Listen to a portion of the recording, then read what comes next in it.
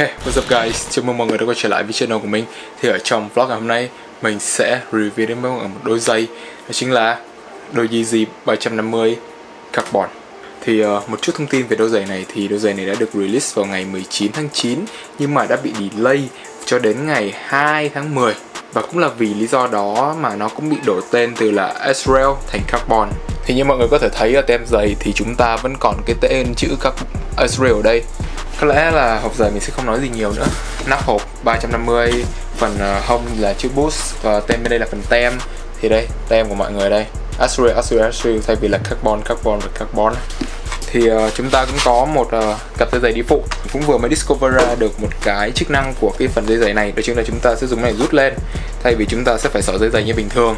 Và cách đó như kiểu là mọi người mang một đôi giày khá là bình thường này mà mang này à, cái cách này thì mình thấy nó khá là truyền thống so với những cái đôi giày Việt Nam bọn con nít hay mang ấy dùng dây giật lên thế là thít vào rồi. Thì à, đi vào chi tiết đôi giày này nhé thì mình sẽ đi từ dưới lên trên như thường lệ. Đầu tiên ở phần đế giày thì chúng ta có đế giày màu cream.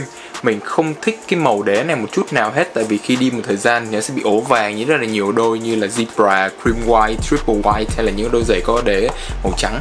Nhưng mà cũng nhờ cái phần đế màu trắng này thì phần upper của nó mới trở nên nổi bật. Biết sao được? Phần upper thì được làm bằng chất liệu Flyknit truyền thống của những đôi Yeezy 350 nhưng mà nhìn trên hình ấy, thì mọi người sẽ nghĩ đây là một đôi giày màu đen xám hoặc là màu đen trắng. Nhưng nó có pha một chút màu xanh và màu tím ở phần ờ, đây.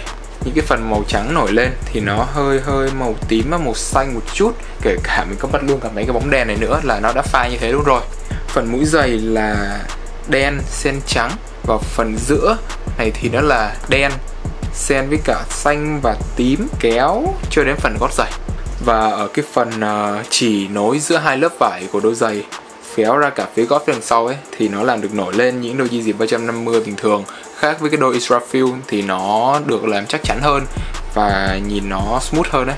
Nhưng mà mình vẫn thích cái kiểu thiết kế này hơn nhìn vẫn đẹp hơn rất là nhiều và truyền thống của Yeezy 350 yeah. đi giày ờ, màu đen và thiết kế giống của Israfil và những đôi Yeezy sắp tới ra mắt. Về phần lót giày thì bên trong lót giày có ờ, tầm chữ Adidas và cả Yeezy là màu xanh tím và lót giày là màu đen.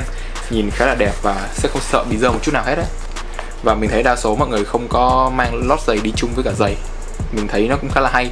Nó cũng giữ được một phần độ mới của đôi giày và khi resale vẫn được giá cao hơn bình thường. Heel không bao giờ xuất hiện nữa rồi. Mình nghĩ rằng uh, Yeezy đã khai trừ uh, phần heel sát. Hơi tiếc bởi vì mình thấy những đôi Yeezy như vậy nhìn nó khá là nuột nhưng mà nó vẫn kiểu nó bị chúi tới. Mình như mọi người tưởng tượng lên con tàu thì nó đi như vậy. Có cái heel tab thì nó sẽ nổi lên đi như cano ấy. Mình vẫn thích có heel tab phía sau hơn thì rất là đẹp. Thì mọi người suy nghĩ như thế nào? Nên bỏ heel tab hay nên giữ heel tab comment phần xuống bên dưới nhé. Uh, ở cái phần stripe ở bên này thì nó là màu đen cho nên là nếu mà mình có mang với thì cũng khó thấy rất là khó thấy ấy. Và ở phần tem ở trong này đây tem của chúng ta made in China. Mình sẽ chụp cho mọi người xem nhé tại vì khó nhìn lắm. Wow, thì uh, overall mình thấy đây là một đôi giày đáng mua. Thứ nhất là nó màu đen, đi nó sẽ khó dơ Và cũng là phối màu iconic và essential trong tủ giày hoặc là tủ đồ của mỗi người. Thì đây cũng là một đôi giày khá là đẹp trong những đôi giày mà được resell trong năm nay. Khi mà mình nhìn vào đôi giày này thì mình thấy ưng luôn. Nhưng tiếc là mình họ đỗ thật Nhưng mà tên là nghèo khỉ Cho nên là không tiền mua.